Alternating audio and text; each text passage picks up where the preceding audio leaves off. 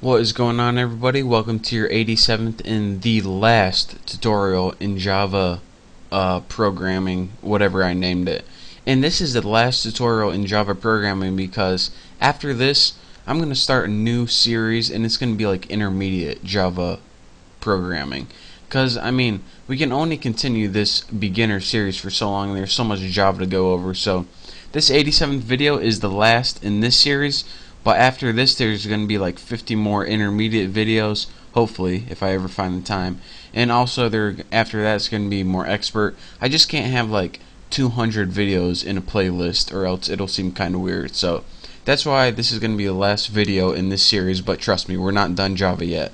And aside from this, my hardcore Java followers are probably like, alright, what happened to Java game development? I thought we were like halfway through that.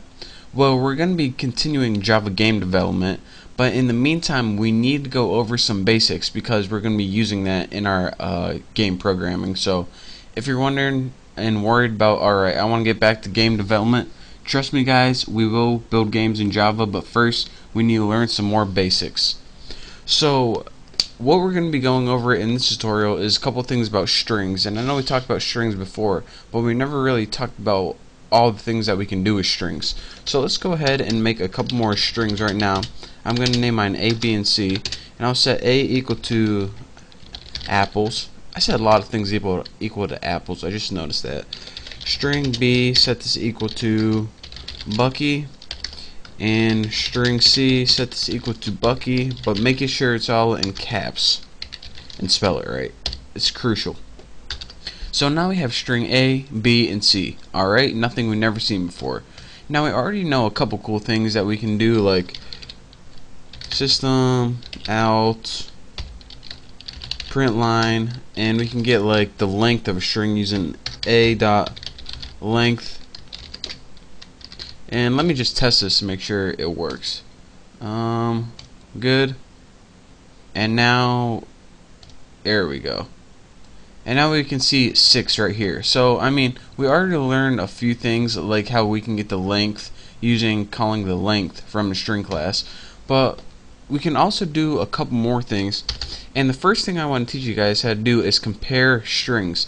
Now, it's a little different than you guys might think. So let's go ahead and make an if statement. And what you would usually do is if um, A is equal to um, this in whatever, you know, whatever comparison you want using two equal signs. And this is how we learned to compare things before. But whenever we compare strings, what we need to do is we need to use the equals method. So here's what you do. Put A, which is apples, if this equals, and then in your equals you go ahead and write what you want it to equal to. If A equals apples, which it does, what do we want to do? Just go ahead and put system out like let's go ahead and just copy this. System out print line. Um it equals apples. Put that in a string. So let's run this and see what we get after we get rid of that. There we go. Run it and see what we get and it says an error because I didn't use these two things yet B or C so that's why we're getting that it equals apples bam so this worked and if you're wondering, alright, you just told me to do that, but why can't I use the two equal sign? Well, here's the background for you guys who are just so curious. When you use the two equal signs, it, how do I say this? If two objects are identical, which means they have the same contents, but they're two separate objects themselves, then it's going to be false. And this happens a lot in strings. It wouldn't happen in this case, but it's just, it's just can cause a lot of confusion.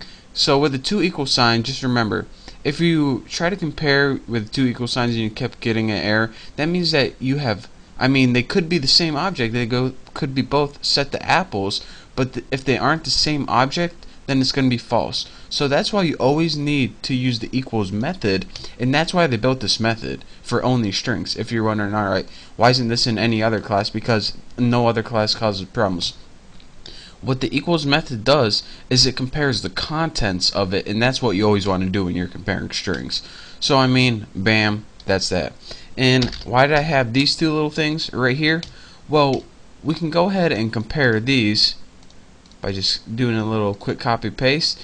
And we'll put like if B equals C um, this is just to demonstrate that you can't that two strings without the same casing is different.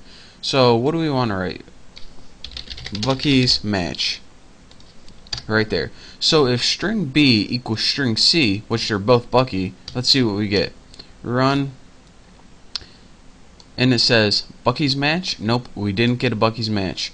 So let's go ahead and now we can see that alright this Bucky does not equal this Bucky but what if we're writing a computer program and we wanted to like type their name or something and we don't care about casing? Then how can we compare two strings with kind of forgetting about casing? Well what we need to do is this.